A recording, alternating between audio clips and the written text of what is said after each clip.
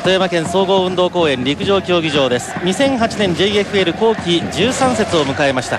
カターレ富山対 FC 琉球の一戦です。この試合の模様富山県サッカー協会理事でユース委員長の、えー、川浦一生さんとともにお伝えをしてまいります。川浦さんよろしくお願いします。よろしくお願いします。まあ本当にあのいうところが今後の J 昇格への近道という形になってきます。今キックオフが行われました一旦後ろに下げて前線へのフィードボールを狙っていきますがカターレ富山ボールをカットされました。今日の主審は渡辺智也さん副審が渡野直樹さん、えー、そして山下雄一さん、えー、第4の審判が野村武人さん。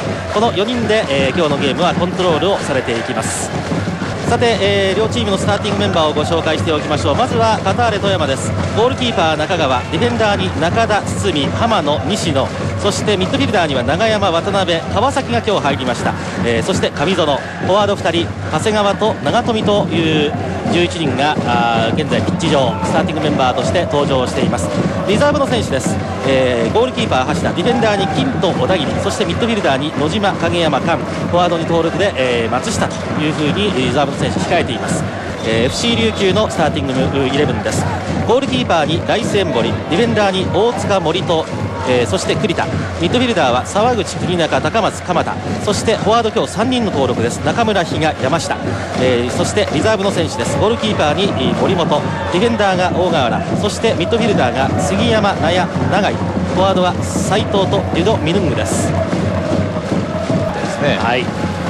カターレ富山を率います曽我監督ですそして一方の FC 琉球率い,、えー、率いますのはジャンポール・ラビエ監督です。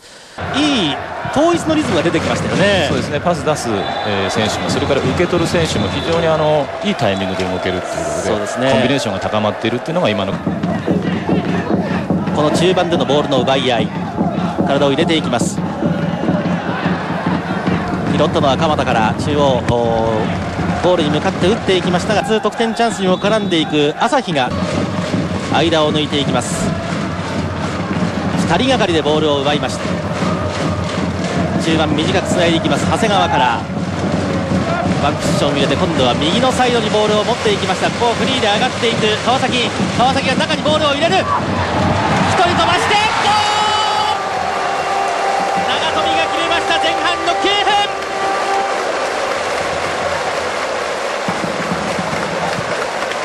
形で右のサイド突破をしていきました川崎。そして1人ボールを飛ばしてですねファーサイドに持っていきましたね。そうですね。あのニアでもファーでも2人とも選手非常にパワーを持ってゴール前入ってたので、えー、もういずれかに合わせてゴールするだけと非常に精度の高いボール上がってきますよね。はい。まず先制点は片割富山。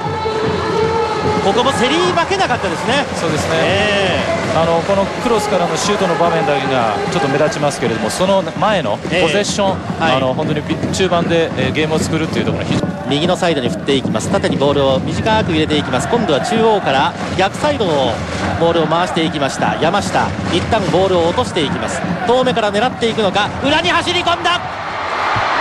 どうだ？ポスト！ポストに救われました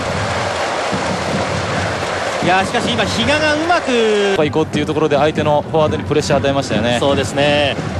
このスルーパス最初のうまく2回目も手にかけてますかっていうぐらいのかかるんじゃないかっていうぐらいのね、はい、きますよね。そうですね。あのボールに常にプレッシャーにいってるっていう状態今肩で作れてますので、はい、なかなか琉球の方も縦のパスを入れにくいという状況にありますよね。そうですね。だからセットプレーでの失点も少し気になるところなので、はい、そういうところもやはりケアしたいですよね。そうですね。山下が今前線縦に入っていこうとするところ。うんクリアミスになりました。左サイドに振って高松。高松の駆け引き。ゴールキーパー中川がボールをキープしています。してもケアしてる。そこに引きつけられてしまって1人浮いてしまったという状況なので、はい、ちょっとピンチうまくいきましたけども誰が行くのかということをはっきりさせてプレーしたいですよね。ですね FC 琉球18番の中村にイエローカードが出されました。の長山がボールを奪ってさあここからつなげることはできるか。逆に FC 琉球比嘉がボールを持った。ゴール前中央の正面から打っていきました。中川がボールを川崎。川崎が1人かわしていきました。ゴール前にボールを運んでいこうというところなんですがこうやってあの最後は打ち切って、えー、フィニッシュまで持っていってこれはボールを取られます。森戸がボールを奪いました。さあここからのスピードアップはどうなんだ。これは西野がファール取られました。非常によくトレーニングされていて、はい、ここまであの選手の消耗って全く見られない状態ですよね、ね、集中も切れてないので、はい、お互いに攻めあぐんでる中で揺さぶりながら折り返しをまたフィニッシュに結びつけようという攻撃の意図が感じられますので。そうですね。セカンドボールを拾いながら、またその拾拾った上で展開していくということも当然狙ってると思うんですね。はい山下が遠いところから少し中盤でのボールの奪い合いあの中盤でのプレッシャーはしっかりと琉球がかかるようになってきましたね。はい。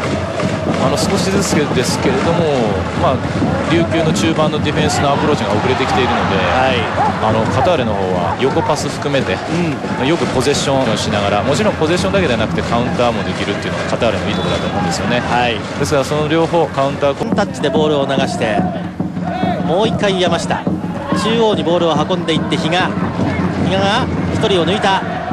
しかし後ろからチェックをかけていきましたのは渡辺。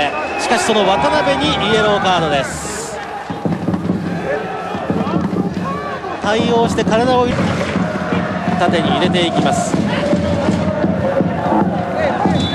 長谷川がボールをつなごうとしたんですが FC 琉球ボールになります、えーまあ、今日は長友君も含めて、3つのタワーがあるということだと思うんですけれども、はい、パーに入れていく。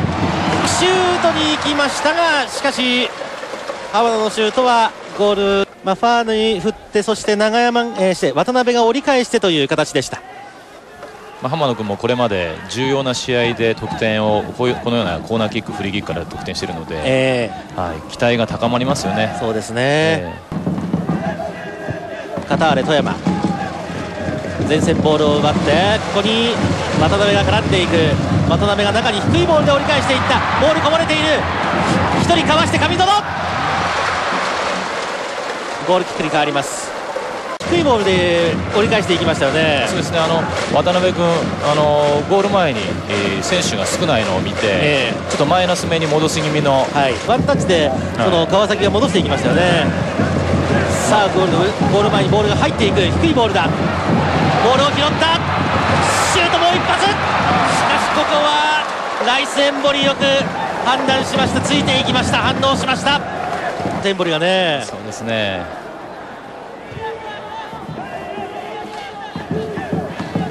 長山。倒れましたがホイッスルはありません。なかなか戻していきますがカットをしました。FC 琉球。一旦マイナスのパスで、えー、鎌田。シュートを打っていきますがちょっとボールをこぼしています。しかし落ち着いて。よく反応しましたよね、はい、本当に反応がいいんですよね、えー、これまではあのチームのピンチなところ1対1の場面とかよく対応して、えピンチ救ってきたこともあるんですけど、えー、西野西野が粘りますが西野の周りちょっとサポートがないか。1人で抜けていった。中に折り返す。こぼれたところ。切り返す。中にボールは入らない。もう一度左のサイドからボールを上げていきたい FC 琉球が高松。ここで前半が終了しました。前半9分に長富のゴールで1点を挙げたカターレ富山。前半終了して1対0とリードをしていますが、まあ、形としては